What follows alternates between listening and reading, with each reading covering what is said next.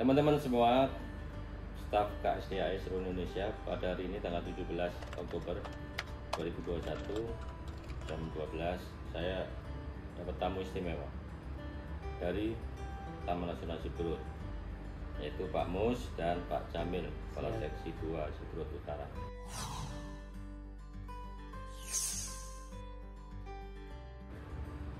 Yang menarik adalah Pak Mus ini bagian dari sejarah saya tahun 2003-2004 ketika saya bekerja di aktif membantu Taman Nasional Siberut. Pak Mus, apa kabar Pak Mus? Kabar baik Pak. Ya, teman-teman semua Pak Mus ini adalah operator booth di masa itu 12 jam dari Muaro Padang ke Melepet di Siberut Selatan 12 jam dengan kapal sumber rezeki ya Pak Mus ya. Pak Mus ini Taman Nasional Siberut bagaimana menurut Pak Mus kerja kita dengan masyarakat seperti apa Pak Mus? Kalau masyarakat kita Pak, bukan apa kita enggak ya. Saja ada masuk Pak Jamil, mantap apa kita. Mantap. Nah, programnya apa Pak Jamil dengan masyarakat di sana? Iya Pak. Yang menarik, ya. ya. Selain dari program rutinitas kita untuk eh, konservasi, eh, kita juga ada apa namanya peningkatan pendidikan masyarakat Ya. secara informal Untuk anak-anak untuk ya? anak-anak Ya. ya.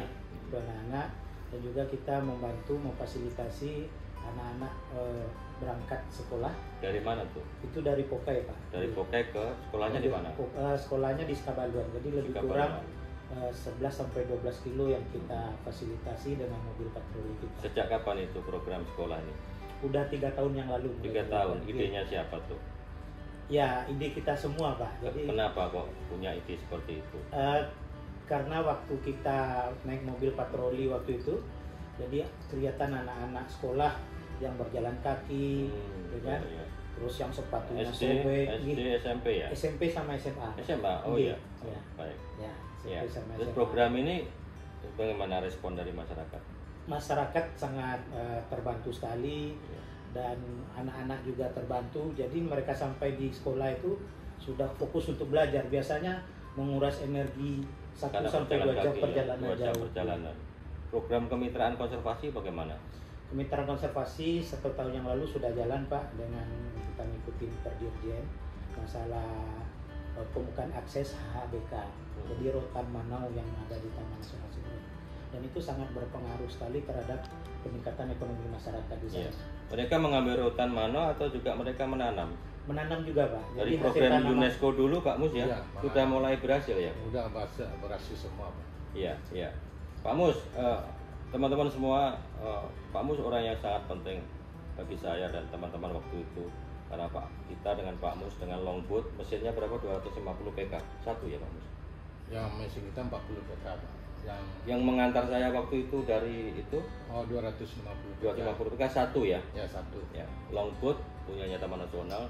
Teman-teman bisa membayangkan dan kita dua jam pertama kita Iya. tenang sekali. Setelah Iya. itu kita kena ombak besar.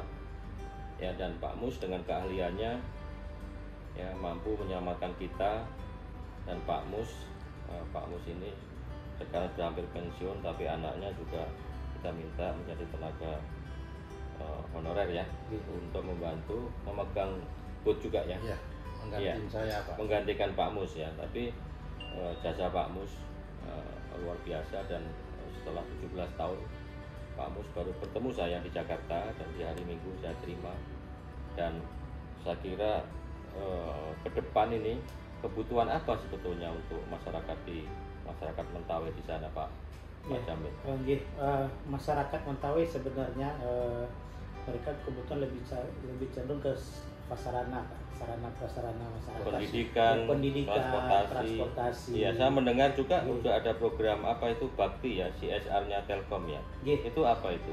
it- itu eh, eh, CS CSR-nya Telkom masuk ke dusun-dusun untuk eh, apa ya? Telekomunikasi, Pak. Jadi jadi di dusun-dusun yang di pedalaman sekarang Sudah bisa? sudah bisa ber- Dengan HP, berkomunikasi berkomunikasi, dengan, iya. dengan, dengan Pantai dengan- Barat juga, Pantai Barat juga sudah alhamdulillah, Iya. ya. Dan eh, eh, peningkatan kesejahteraan itu melalui juga pengambilan hasil hutan bukan kayu ya Pak ya. Ya.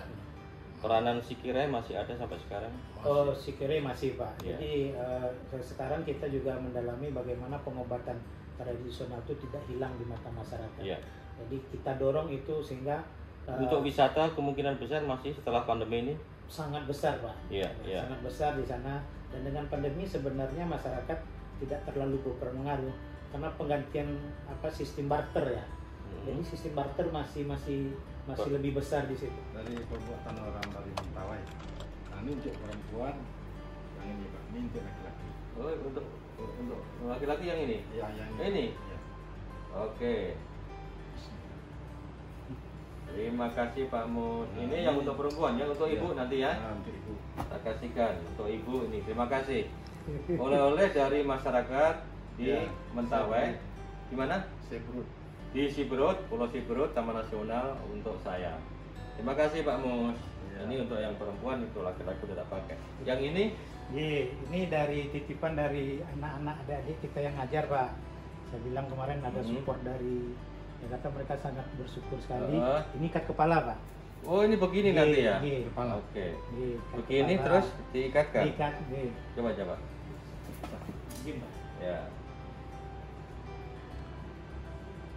Oh gitu ya. Khas Mentawai ini ya. Mentawai. Siap. Waduh, ini Nah, sebenarnya kalungnya sama Pak. Tambah Sama. banyak kalung tambah tinggi derajatnya. Oh gitu.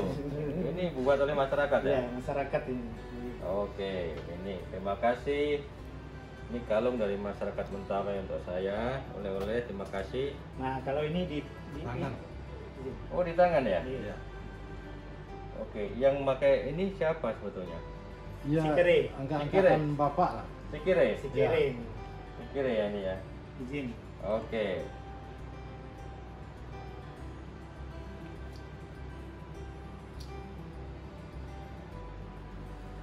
Terima kasih Nah, tim si perut ini. Satu lagi Pak. Oh, satu ini lagi. penutupnya.